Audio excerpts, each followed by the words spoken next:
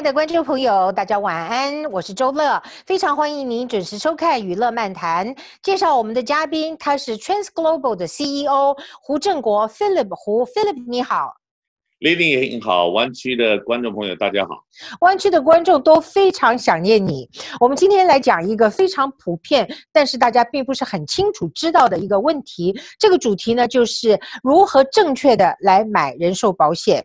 如果说 Philip 从保障的角度，人寿保险应该分成哪几种功能？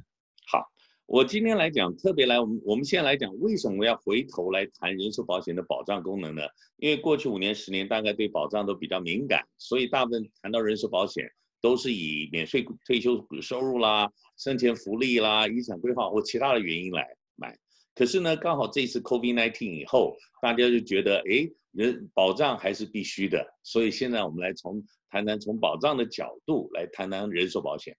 第一个，我们先来谈谈哈，很多人在谈对人寿保险为什么要人寿保险的概念，可能有点偏差或者不喜欢。其实，其实我拿一个例子来举，呃，举一个例子就很容易了解了。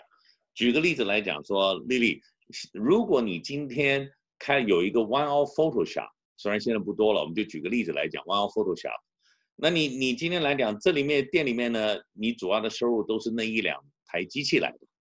那这一两台机器又很贵，万一这一两台机器坏了，对你店里影响大不大？太大了，太大了。所以就就这个，为了不要让生意出问题，以后呢，以外呢，所以呢，你会不会考虑替这两一两台机器买一个 warranty？当然要，很重要啊，很重要，对不对？好，那我们来谈呢，其实人人。就像这店对家里经济的贡献，就像不像这一来两台机器对，呃，店里的东西一样的。对，当人出问题的时候，人不在的时候，当然我们没有办法取代人，但是我们需不需要取代人这个人对家里财务的贡献？最好是这样喽。所以呢，我们应不应该替我们的收入也买个 warranty？你这样一讲，我们就完全明白了，绝对需要的。对，所以从人寿保险从保障的角度，其实主要就是给你呃为你的对家庭收入的贡献买一个 warranty。我们常常讲了，就我们就讲一些比较感性的话啦，就是说，如果是这样子的话，那不会因为我们赚钱回家养家人不在了以后，我的孩子、我的家人还要住在不同的地方，我的孩子要去不同学校上学。所以呢，最重要把人寿保险的保障就当做对你家有家对家里财务的贡收入的贡献，这就是我们买人寿保险保障的重的意义所在了，是不是很容易了解了？好，那 Philip 既然了解了它的功能，保障是非常重要的一项，那么请介绍一下那人寿保险的种类有哪一些？那他们的优缺点又是什么呢？好，我们先从它的人寿保险里面呢，基本上能分两大类啊，在里面再分两大类。第一类，第一类呢，就所谓的 term insurance，就是像呃纯保险一样啊，这种就像汽车房保险、房屋保险一样啊，你只付钱，那你在付钱的时候就有保障，呃，不付了就没有了，这就是 term insurance。那它的好处呢是便宜，但缺点是什么？你只有这一段时间。不光没有 cash value，而且只有这一段时间有 turn 的这一段时间，通常 turn 结束了以后，要不然就非常贵，有要不然就没办法继续下去了。所以呢，他们常常讲，这是 turn turn 的主要的好呃的好处是便宜，但缺点是它不能解决呃永久的问题。我们常开个玩笑话，你可能买医疗保险可能不生病，买房屋汽车保险可能不出车祸，买房屋保险可能不烧房子，但是有没有看到哪一个人不走的？所以呢，我们在有些时候不应该用呃暂时 temporary solution 来解决 permanent 的问题。所以 term 有它的优点，有它的缺点。那另外一只是储蓄型的。那储蓄型呢，就是你放进去的话，呃，有一部分钱去存钱，然后根据它存钱的种类，我们有分利息式的啦，有呃根据指数拿利息的啦，还有跟呃投资连接的，就分成 permanent，这分成这两大类了。这两大堆类，那我们再从这里面再来看哪一类呢比较适合？就我们今天讲，第一个从这里面来看有它的什么好处在这里。那在里面呢再来看呢，我们通常第三个问题常常问的就是说，除了呃人寿保呃保障以外，你还重视什么样的产什么样的功能？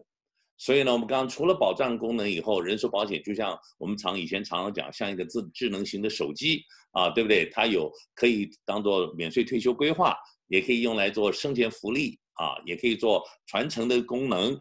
那我们今天来讲，这个除了保障以外，你还需喜欢需要哪一些功能？我们按照这个功能再帮你配适合的。所以，我们第一个来讲，我们要谈到为什么你需要人寿保险，保从保障的角度，然后保保险的种类以外，第三个除了保障以外还有什么好处了？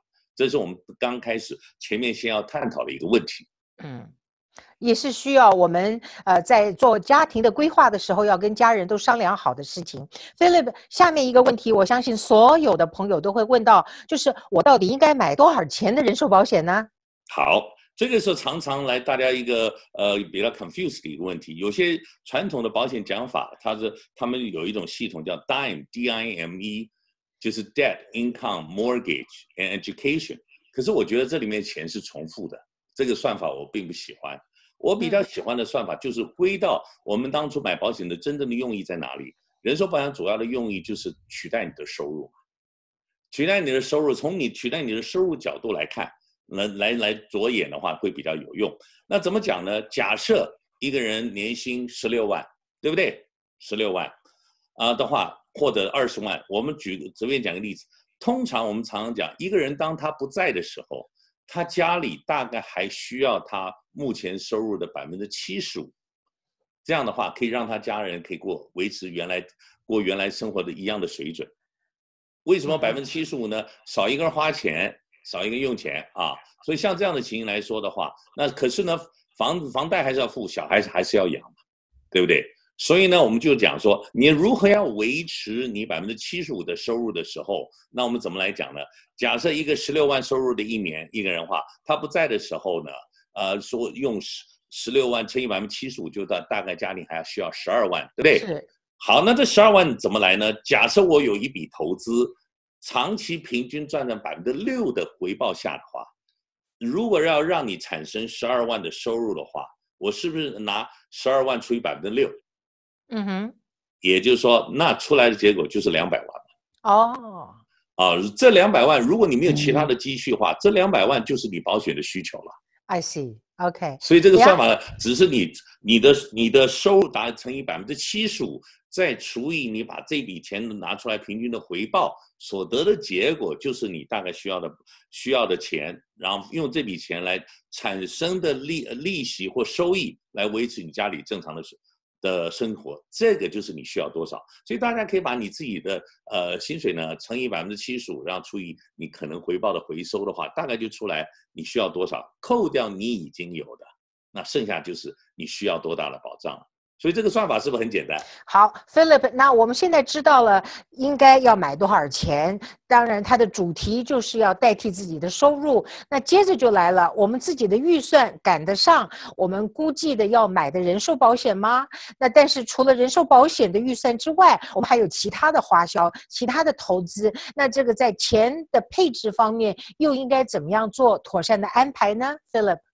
所以呢，我们来讲呢，是说，那我们已经知道你大概需要多少呃多大的 insurance 啊，剩下一个最重要的事情就是我们要算算看你的预算了。我们通常来讲，按照你的预算，比如说我们一个月可以存一千块，呃，存一八百块、两千块，按照你可以存多少钱来帮你做搭配。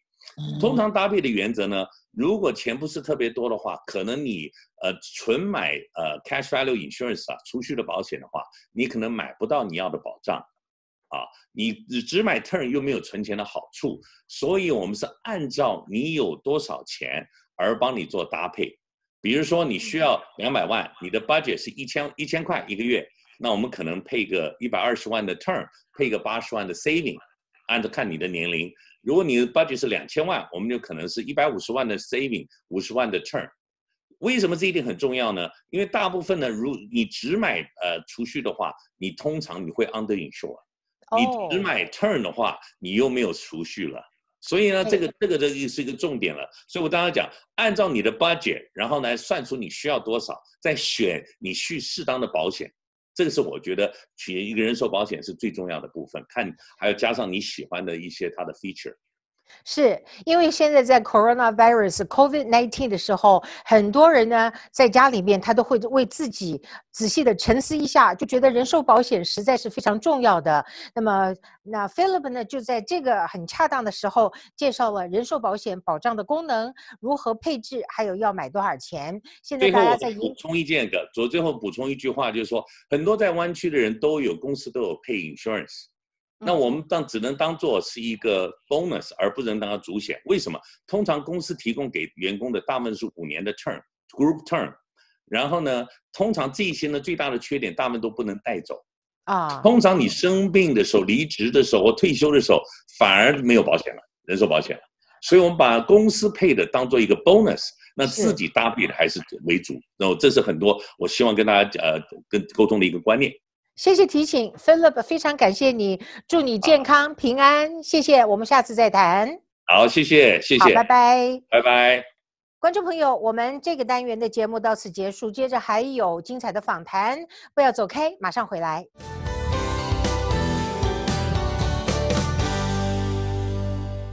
而家美加各地都可以收睇到三藩市湾区 KTSF 二十六台嘅精彩节目。三藩市湾区嘅观众可以透过 KTSF App 或电视收睇，其他地方嘅观众可以透过 SBTV App 或上网 SBTV.KTSF.com 收睇。